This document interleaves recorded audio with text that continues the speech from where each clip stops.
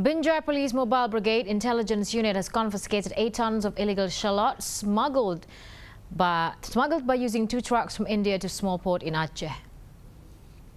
Authorities conducted the arrest at the Trans-North Sumatra Aceh Highway on July 25th based on a report from local residents living along the border of North Sumatra and Aceh.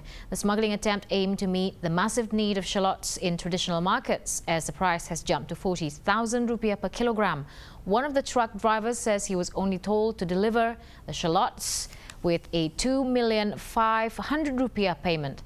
Meanwhile, the smuggling case will be handed over to North Sumatra Police for further investigation. Lewat, jadi kita bisa deteksi ya dari informasi, informasi itu.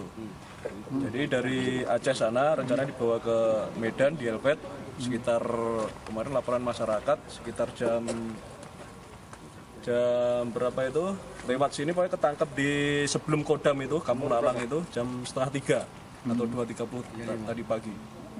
Jadi rencana di Helvetia terus langsung kita amankan. Ini udah kita buntuti dari Langkat. Dari Langkat udah kita